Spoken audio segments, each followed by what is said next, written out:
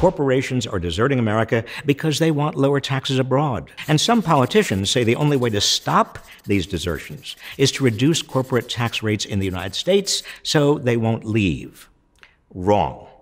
If we start trying to match lower corporate tax rates around the world, there'll be no end to it. Instead, the President and the Treasury Department should use their executive power to end the financial incentives that encourage this type of desertion.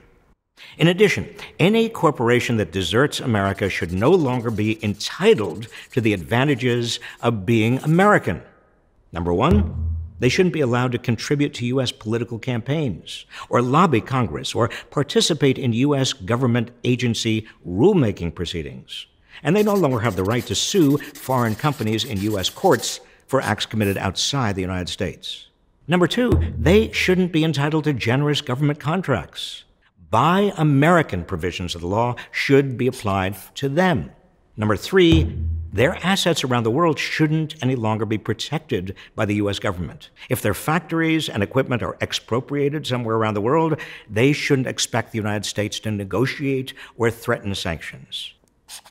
And if their intellectual property, patents, trademarks, trade names, copyrights, are disregarded, that's their problem too.